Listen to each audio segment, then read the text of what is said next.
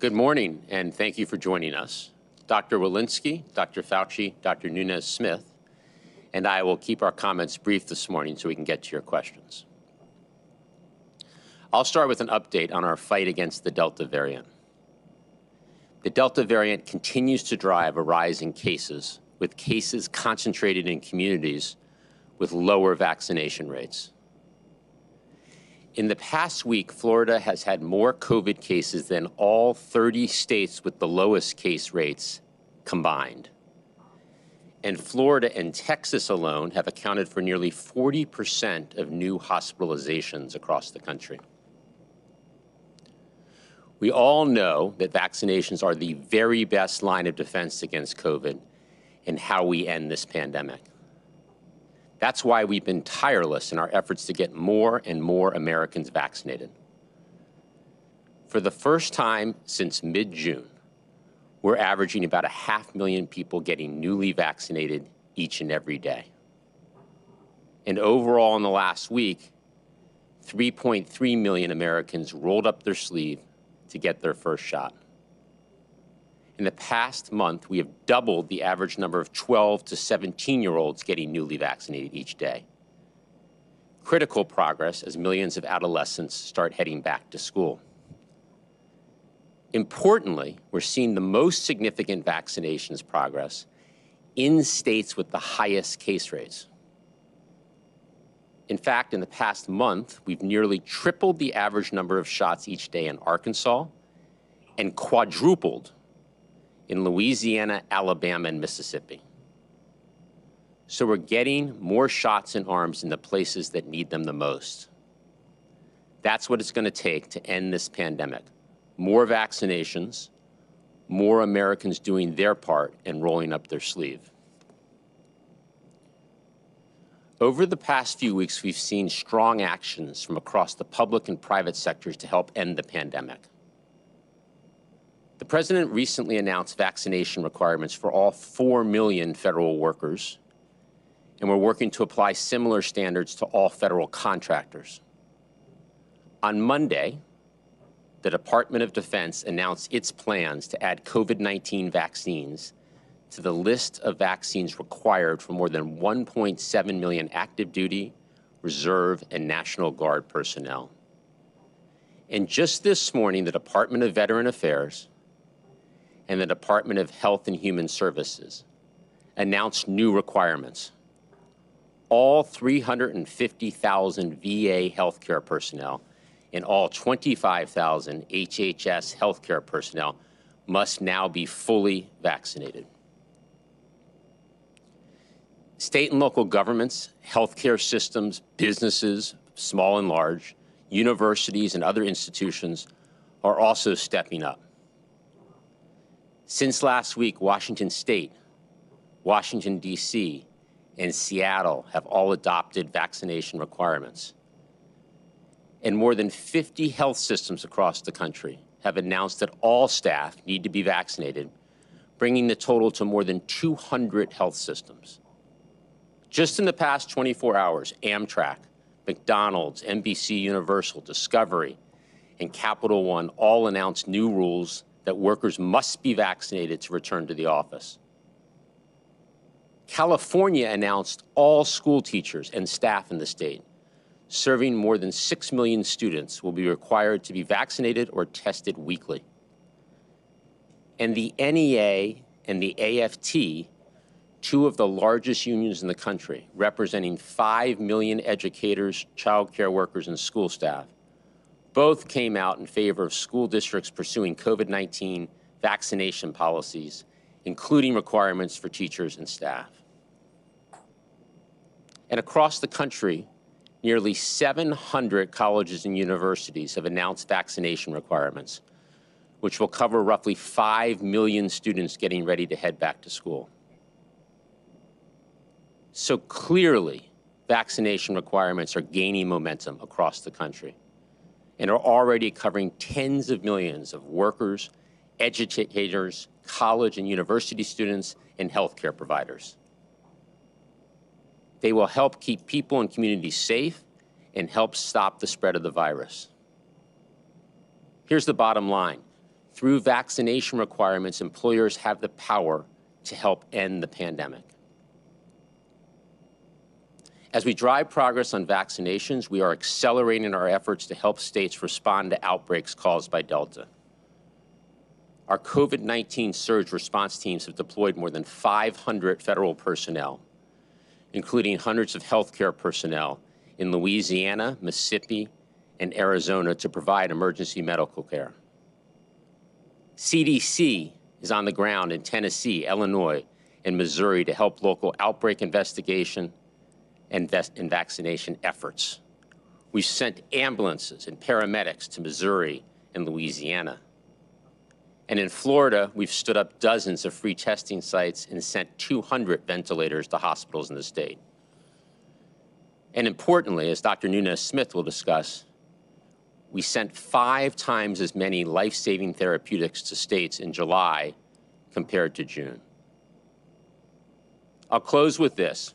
We are doing everything we can to get people vaccinated and support state and local leaders on the ground. But as we have said from the start, ending this pandemic requires every American doing their part. So please, if you're unvaccinated, get your shot. It's free, it's convenient, it works, and it's never been more important. With that, let me hand it over to Dr. Walensky. Thank you, Jeff. Good afternoon. Let's begin with an overview of the data. Yesterday, CDC reported 132,384 new cases of COVID 19. Our seven day average is about 113,000 cases per day, and this represents an increase of nearly 24% from the prior seven day average. The seven day average of hospital admissions is at about 9,700 per day, an increase of about 31% from the prior seven day period. And the seven day average of daily deaths has also increased to 452 per day, an increase of 22% from the prior seven day period. We continue to see cases, hospitalizations, and deaths increase across the country. And now over 90% of counties in the United States are experiencing substantial or high transmission. As we have been saying, by far, those at highest risk remain people who have not yet been vaccinated. This week, we are taking two important steps in encouraging and improving vaccine protection for Americans. First, for pregnant people who are at higher risk of severe illness from COVID 19, we are strengthening our guidance and recommending that all pregnant people or people thinking about becoming pregnant get vaccinated. We now have new data that reaffirm the safety of our vaccines for people who are pregnant, including those early in pregnancy and around the time of conception. These data build on previous evidence from three safety monitoring systems that did not find any safety concerns for pregnant people who were vaccinated late in pregnancy or for their babies. Now, these new data found no increase in the risk for miscarriage among people who received an mRNA COVID 19 vaccine before 20 weeks of pregnancy. Clinicians have seen the number of pregnant people infected with COVID 19 rise in the past several weeks. The increased circulation of the highly contagious Delta variant, the general low vaccine uptake among pregnant people, and the increased risk of severe illness and pregnancy complications related to COVID 19 infection among pregnant people make vaccination for this population more urgent than ever. Second, I want to take a moment to discuss what we are doing to help increase protection against COVID 19 for certain individuals who are moderately and severely immune compromised. As we've been saying for weeks, emerging data show that certain people who are immune compromised such as people who have had organ transplant and some cancer patients, may not have had an adequate immune response to just two doses of the COVID vaccine. To be clear, this is a very small population. We estimate it to be less than 3% of adults. We've been working to identify how best to provide increased protection to these vulnerable people who are disproportionately impacted by severe outcomes due to COVID 19. FDA is working with Pfizer and Moderna to allow boosters for these vulnerable people. An additional dose could help increase protection for these individuals, which is especially important as the Delta variant spreads. Following FDA's decision, CDC will hold a meeting of its advisory committee on immunization practices tomorrow to discuss this issue and offer their expert insights and recommendations. We look forward to that discussion and to helping support this vulnerable population. At this time, only certain immune compromised individuals may need an additional dose. Emerging data, including from a significant study published in the New England Journal of Medicine yesterday, show that an, there's an enhanced antibody response after an additional dose of an mRNA COVID 19 vaccine in some immunocompromised people. This action is about ensuring our most vulnerable, who may need an additional dose to enhance their biological responses to the vaccines are better protected against COVID 19. The science and resulting data in this pandemic are moving extremely rapidly. The US government, in turn, is moving swiftly to analyze the science and make the recommendations most appropriate to protect Americans. We know our vaccines are safe and effective, and if you have not gotten a vaccine yet, please do so today. Thank you. I'll turn things over to Dr. Fauci. Thank you very much, Dr. Walensky. So it's becoming very clear now, if you go to the first slide, that we are dealing with a global outbreak of the Delta variant.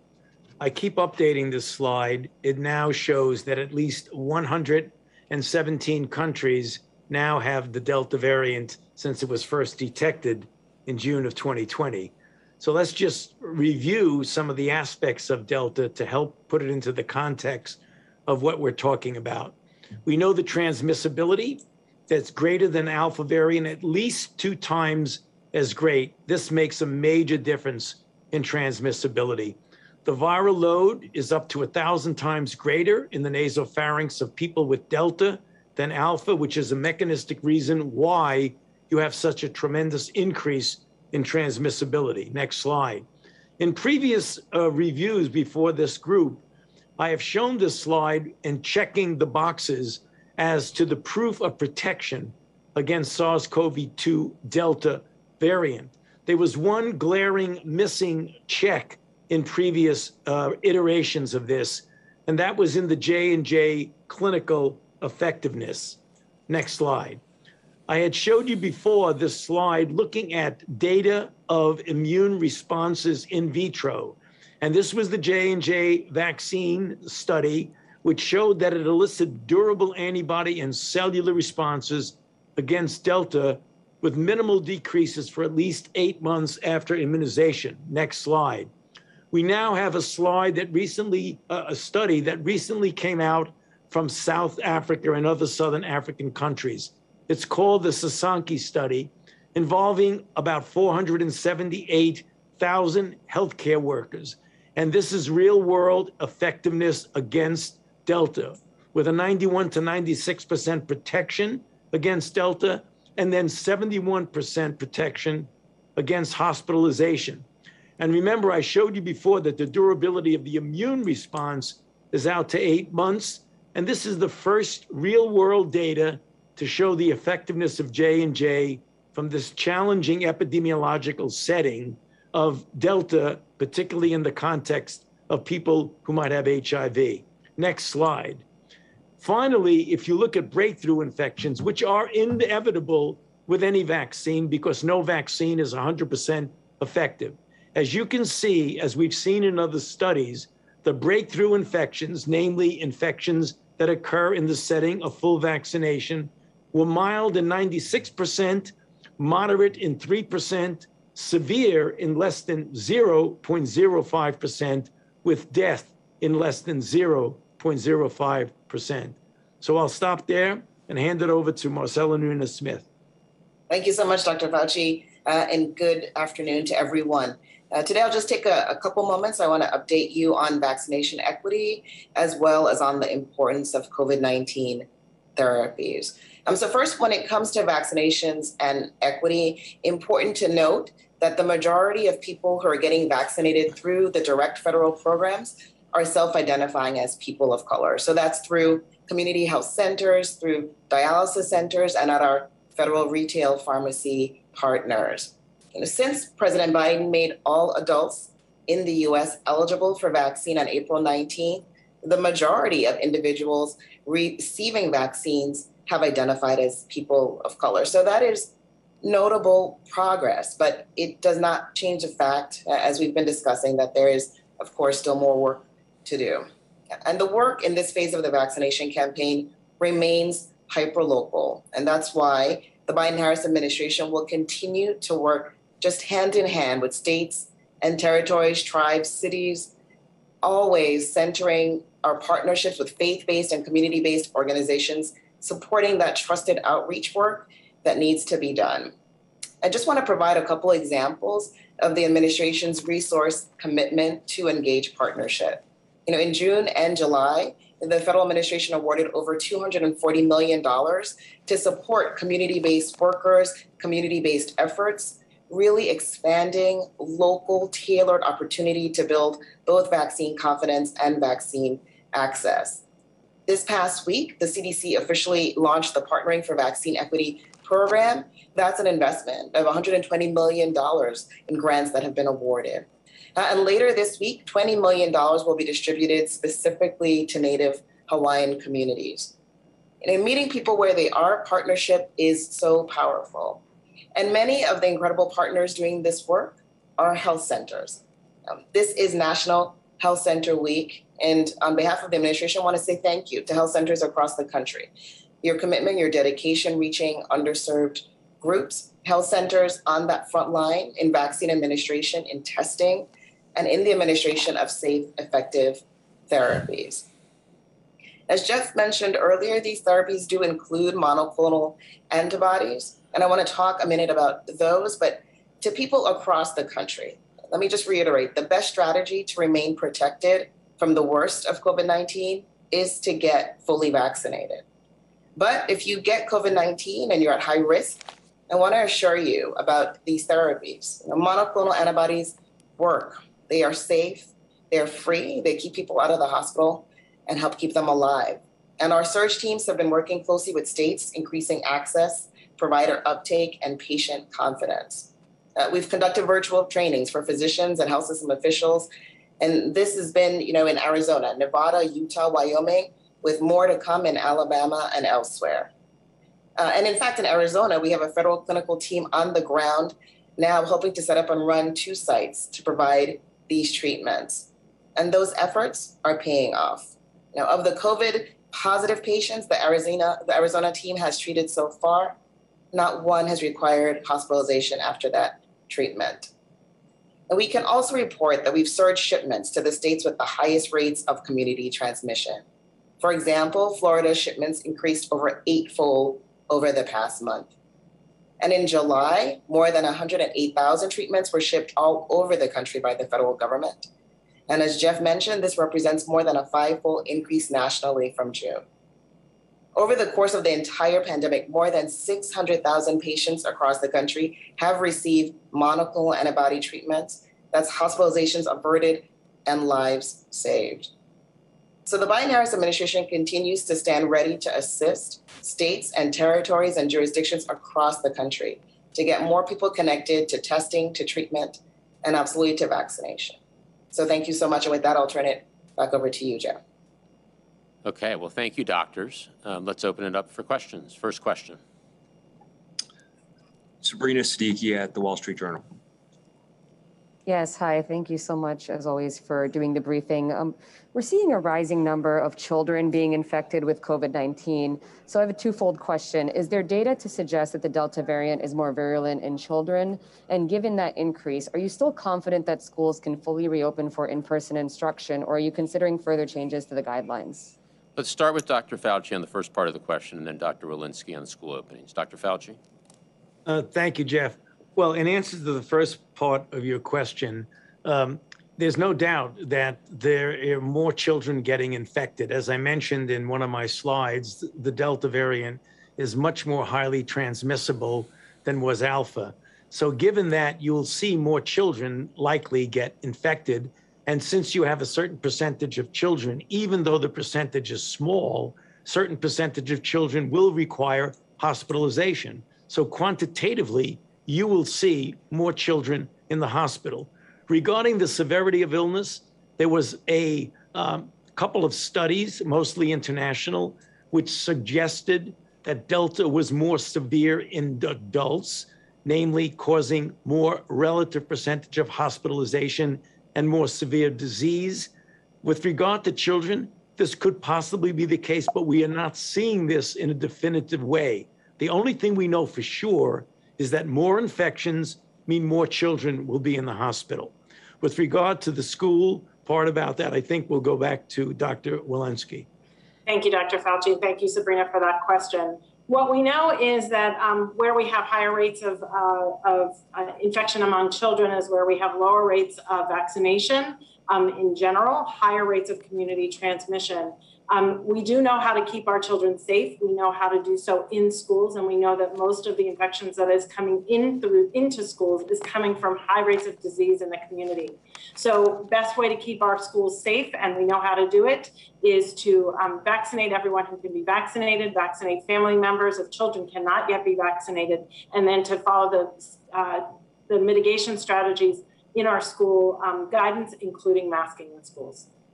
One thing I'd add there is due to the passage of the American Rescue Plan several months ago, all schools have the resources to implement those mitigation strategies. Next question. Josh Wingrove at Bloomberg. Hi, thank you. Can you give us an update on the plan to start shipping those 500 million Pfizer doses that was uh, meant to commence this month? Has that started, and what kind of pace will we see in the coming weeks? Thank you. Thanks, Josh. Uh, the 500 million Pfizer doses that were announced uh, uh, in June to be donated to the world, uh, those shipments do begin this month, uh, and we will ship a total of 200 million by the end of this year, uh, this calendar year, with the remaining 300 million shipped no later than the first half of 2022. So everything is on schedule there, Josh, and shipments are beginning in the next several days. Next question. Next question, let's go to Weijia at CBS. Thanks, Kevin, and thanks for taking my question. Um, I have a quick follow-up on Sabrina's. Um, what is the latest data about children and long-haul um, symptoms after they recover even from mild cases? And then, Jeff, for you, now that more entities are requiring vaccines, is the administration reconsidering something like a QR code or a passport to help verify people's vaccination status? And if not, what are you doing to stop the proliferation of fake vaccine cards? Thank you. Okay, Dr. Walensky on the children long COVID question. Right. Thank you for that question. We are examining long COVID um, in children, and um, we are seeing long COVID symptoms, mostly fatigue and headache. They appear to be happening at rates that are lower than they are in adults, in the 2 to 3%. But of course, data with Delta and long COVID will need to be followed um, differently and, and longitudinally as we have been with Alpha. So, more data to follow on that. You know, onto uh, vaccination verification, there are a number of ways people can demonstrate their vaccination status. Uh, companies and organizations and the federal government are taking different approaches, and you know we applaud uh, this innovation. There will be no uh, federal vaccination database, as with all other vaccines. The information gets held at the state and local level, um, but any system that is developed uh, in the private sector or elsewhere must meet key standards, including affordability, being available both digitally and on paper, and importantly, protecting people's privacy and security. Uh, the second part of your question, you know, we are aware of some cases of fraud or counterfeit COVID 19 cards uh, being advertised on social media sites, and e-commerce platforms. While the practice is not widespread, you know, I will remind everyone that it's a crime, uh, and the Office of the Inspector General, the Department of Health and Human Services, is investigating these schemes. Next question. Cheyenne Haslett at ABC News. Hi, thanks for taking my question. Um, I want to follow up on a question from last week about the hospitalization rates for unvaccinated uh, versus vaccinated people. Uh, CDC has been saying it's 97% of people winding up in the hospital who are unvaccinated. Has that number changed with Delta, and do you have um, better numbers on the efficacy yet, Dr. Walensky? Thank you. That 97% was data from January through May, um, January, sorry, through June. Um, and of course, with more and more people being vaccinated and with the Delta variant, those numbers are fluid and we're continuing to evaluate those. Next question. Let's go to Kelly Leonhardt at Inside Health Policy. Hi, thanks for taking my question. Uh, there have been reports from CDC that over a million people have already gotten unauthorized third doses of mRNA vaccines. Do you know if private insurances and Medicare are still covering the administration fee for these shots, even though they're not recommended currently? Dr. Walensky? Yeah, we are um, doing an evaluation of that just to make sure and understand, um, and, and we have the capacity to track this and to understand the practice. Um, many of these are occurring in the context of people who um, may believe they are merit another shot, may may be severely immunocompromised, and are doing so advance of our in advance of our uh, recommendations.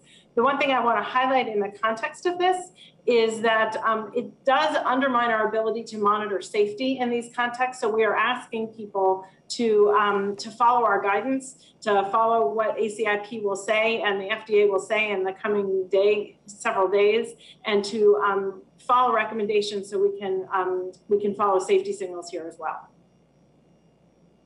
Next question. Last question. Let's go to Michael Erman at Reuters. Hi, Dr. Fauci said this morning uh, on an interview that, uh, he believes boosters in general are, are, are inevitability.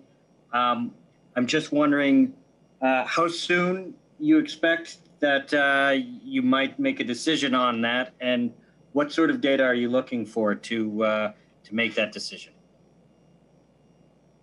Well, when I made that statement, it, it's a true statement that we believe sooner or later you will need a booster for durability of protection. Right now, you know, as, as we mentioned, we are evaluating this on a day by day, week by week, month by month basis, looking at any of a number of studies, both international and domestic studies. And as we've stated many times, right at this moment, apart from the immunocompromised, which was just discussed, we do not believe that others, elderly or non elderly, who are not immunocompromised, need a vaccine right at this moment. But this is a dynamic process and the data will be evaluated. The one thing we are doing is we are preparing for the eventuality of doing that. So if the data shows us that, in fact, we do need to do that, we'll be very ready to do it and do it expeditiously. Yeah, I'll just emphasize what Dr. Fauci ended with, which is if and when there's a decision uh, we are prepared. We have the supply, and people will be able to get a booster in a fast and efficient way if and when the, the, the science dictates. Uh, thank you, and uh, look forward to seeing everybody at the next briefing.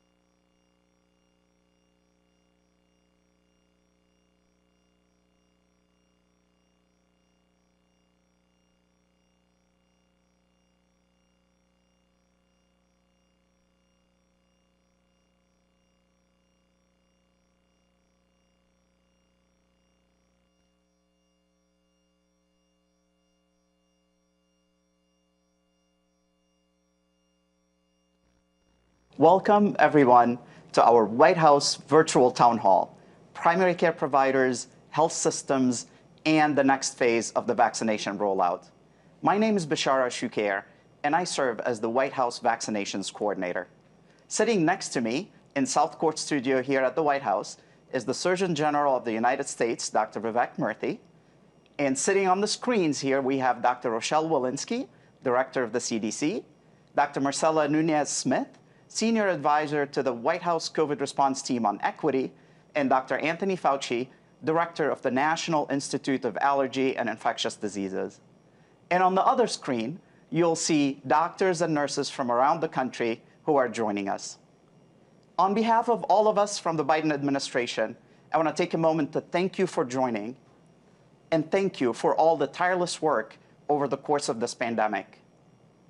As a family physician myself, I know firsthand how critical the role of providers is when it comes to getting more and more people vaccinated, particularly those who still have questions about the vaccine and are not 100% sure they want to get vaccinated. I have an enormous appreciation for your work and sacrifice. Providers have been and will continue to play an essential role in this vaccine rollout. You are the most trusted source of vaccine information for your patients and for your communities. And your offices are the most preferred location to get COVID vaccines. So today we're going to have five conversations um, on the role of primary care providers and health systems in the vaccination effort. First, Dr. Murthy on the role of primary care providers in vaccine education and countering misinformation.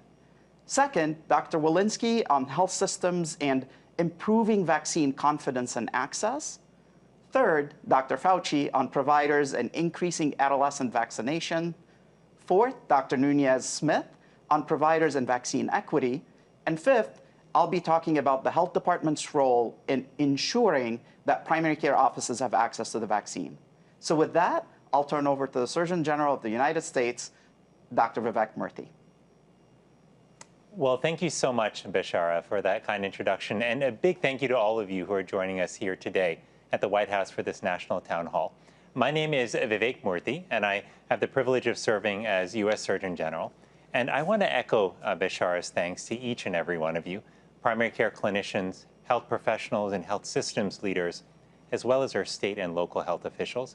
All of you have played an extraordinarily important role in getting us to today.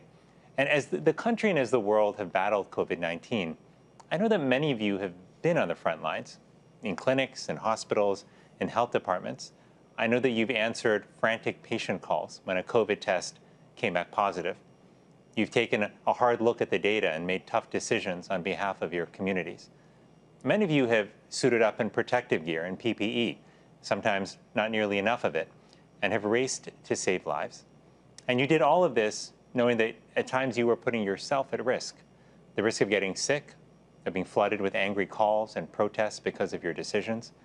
And of course, there is a risk to your mental health and emotional well being. But in the midst of all of this sorrow and fatigue, you've continued to show up day after day. And for that, for all that you have done to keep our nation safe, we owe you an immeasurable debt of gratitude for your sacrifice and your service. You've helped your patients, families, and entire communities navigate a year of extraordinary uncertainty uh, and very painful loss. But because of you, we now see signs of hope. Over 172 million people in our country have been vaccinated with at least one dose. And deaths from COVID 19 are at their lowest point since March 2020. We've come so far, but we've got more ground to cover if we want to vaccinate the millions more who need protection from COVID and its consequences. Now, to reach that goal, we know we need to work together. And that's why the government has been working to knock down these barriers for your patients and your communities uh, from free rides to the vaccination sites, to making it easier for employers to give their employees time off from work to get vaccinated, to also providing free childcare. All of this while continuing to spread the word that the COVID 19 vaccines are free to anyone, regardless of their insurance status. And there's more we want to do to support you, including steps taken by Medicare this week to increase financial support for COVID 19 vaccines that are administered at home. So today, we want to call upon one another uh, as clinicians to reaffirm our role in this final stretch of the pandemic. We want to ask, what can each of us do to help people get vaccinated? For some of us, that means calling your patients and asking them if they've been vaccinated and then helping answer questions they may have. Surveys tell us that one, 8 in 10 adults turn to their doctors when deciding whether to get a COVID 19 vaccine. That means that your voice really does matter. For others of us, uh, getting involved may mean going to your community and speaking with your local school, with your faith community, or visiting your local YMCA or Boys and Girls Club to talk with parents and adolescents and community members about the vaccine. And for others of us, uh, getting involved may mean reaching out to your family and friends in order to empower people to make decisions that they feel comfortable with. So today we're here to talk about all of that and more, to start a conversation, if you will, a broader movement in the weeks ahead that will lead up to what we hope uh, will be a resounding success on July 4th. But to be clear, this effort will continue well beyond that. Now, I'm so grateful to speak with all of you today because uh, not only do I think of you as colleagues, but I know that you are all part of a sacred lineage of healers, healers who, for generations, have stepped up to face the challenges that their communities have faced, from smallpox and yellow fever to polio and now COVID 19. And our purpose as healers has never been more clear. So, with your partnership, I know that our country can emerge from this dark year. I know that we will find brighter days ahead. Thank you so much again for being with us. And it gives me great pleasure to start with our first panel. Uh, our first panel uh, is going to focus on primary care providers. And I'm really, um, I'm really blessed to have the opportunity here to have three wonderful clinicians with us. Dr. Basim Khan, who's a primary care physician and executive director at Neighborhood Health uh, in Virginia. Dr. Kohar Jones, uh, who is a primary care physician in Chicago, who cares primarily uh, for the homeless, and Ms. Edie Pacheco Galloway, uh, who provides care for patients primarily focused on cardiovascular health uh, in Tucson, Arizona. So, to all of you, thank you so much uh, for joining us today. Kohar, Basim, Edie, I really appreciate you being with us. I, I want to start, uh, let me start with, with Basim. And, um, you know, and I want to, you know, I've spoken to each of you and I know just how much you have to offer. And in the limited time we have, though, I want you to share some of the pearls uh, that you have gleaned from your own experience. And um, Dr. Khan, I'm hoping you can talk to us a bit about your own conversations with patients, as well as your efforts to reach out uh, to your panel of patients. Tell us what that experience has been like and what have you learned that you think would be helpful to clinicians listening today? Thank you so much, Dr. Murthy, for um, inviting all of us and for um, your efforts um, throughout this pandemic. Um, you know, for, for me as a primary care clinician at a community health center, um, one of the lessons that I've learned over the years, um, but especially when it comes to COVID vaccines, is not to make any assumptions about where our patients are, how much they know about the vaccine, what their opinions are about the vaccine or their willingness um, to act upon the advice that we give them. And it's it's it's always great to have open-ended conversations um, where you try to learn where they're coming from and you try to listen so that then you can offer advice. Um, in terms of reaching out to um, our patient panel, you know, as as many of the people joining us know, there's so many different ways to do that. Um, it's you know proactive outreach through text messaging, through letters, through phone calls, um, as well as taking every opportunity um, when a patient comes in the office to um, talk to them and engage with them about the vaccine. And probably the biggest lesson that I've learned there um, is the importance of motivating and engaging with our staff. Because, like you mentioned so well, um, it's been a difficult few months for a lot of people in healthcare. There, um, there's a lot of burnout. We've called upon them to do so much, and now in primary care, we're doing that again um, by asking them to take such an active role in the vaccine effort. Um, there are no easy answers to this, but any thought or effort that can be given to motivate staff, to encourage them, to engage them, um, to elevate champions um, and make them own the process and to recognize their hard work, I think goes a long way because ultimately it's in all these one-on-one interactions um, where a difference is going to be made, and they have to be motivated to do that. Absolutely, absolutely. Uh, well, that's very helpful. And, and uh, Dr. Jones, I want to bring you in here as well because I know when you and I spoke, um, that you mentioned a few things that, that really stuck in my head. Uh, one was the importance of planting seeds uh, with patients, not necessarily knowing when those seeds uh, will come to fruition, if you will. Uh, but I'd, I would love if you could talk a little bit about your experience planting some of those seeds in your conversations with patients. And then I'd also love for you to, to mention a little bit about some of the community work that you are both doing and that you've seen in schools uh, that are examples of how doctors uh, can help expand the vaccination effort in their communities. Um, so I've made the COVID-19 vaccine question one of my routine primary care questions. Have you gotten the COVID vaccine yet? Yes. Thank you for taking care of yourself and the community. No. Why not?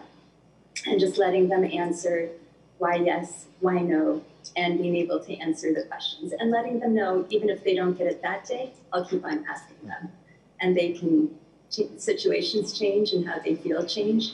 And to create the expectation that the there's an opportunity for choice anytime that they come in. So really emphasizing the possibility to choose.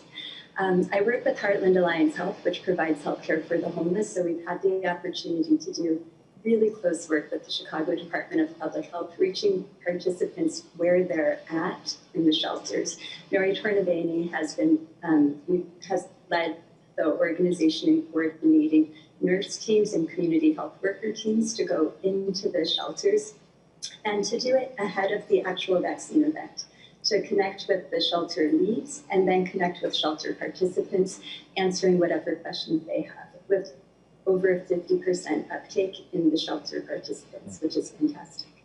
Um, within the clinic, Melissa Salgado Bellin has done an amazing job of supporting providers and uh, encouraging us to ask every participant and then I've seen in my son's preschool, the Akiba Schechter, the health committee with the pediatricians, Dana Shinazi and Elishiva Shames, leading the health committee, holding vaccine town halls, answering uh, parent questions, and creating a norm of this is what we do to take care of each other so that we're able to continue to have our children in school and to maintain this community together. I mean, what you just mentioned is really powerful, and I want to underscore uh, two points. Uh, one is the, what you're doing by asking every patient uh, is, is so important because success isn't necessarily somebody saying at the end of a conversation, okay, uh, I'll take the vaccine. It might be them starting the thought process. Uh, and I, I know that you and many other clinicians have had the experience of having that conversation, and then a week or two later, uh, the patient may contact you and say, okay, I, I decided to get vaccinated. Uh, so you just never mm-hmm. know when giving people permission to have that conversation, to think openly about the issue may end up uh, changing their mind later. Um, I absolutely had that experience, which was so gratifying. Yeah. No, I don't want it. My family wants me to have it. I'm choosing not to have it, validating the choice, having him come back a month later for lab follow-up saying, I went. I got the Pfizer. I went the day after. I trust you. It was really exciting. That's amazing. That's so great to hear. And that's what can happen in clinics all across America uh, if we do this together. Uh, Ms. Galloway, I want to bring you in here as well because I know that you have been doing uh, some really important work in Tucson, Arizona with the Medical Reserve Corps. And I'd love for if you could share a little bit about the MRC, what it is, what you're doing with the MRC, uh, and help people who may be listening around the country and thinking, hey, I'd like to do that too, how they can get in touch with their local MRC. So the Medical Reserve uh, Corps um, is an organization where you can uh, register your um, uh, your name, your profession, and uh, be called to help in a state of emergency and situations. So um, I personally had uh, uh, signed up for med- the Medical Reserve Corps uh, several years ago, but never had an opportunity to come in to uh, do anything with the Medical Reserve Corps. but uh, in Tucson, um, I signed myself up. I um, had signed up a couple of friends, nursing friends, and my sister, um, who has been um, kind of my tag team person. Um, we have signed up for several uh, clinics uh, throughout town. Uh, the Pima County Health Department um, is doing a fantastic job. Dr. Theresa Cullen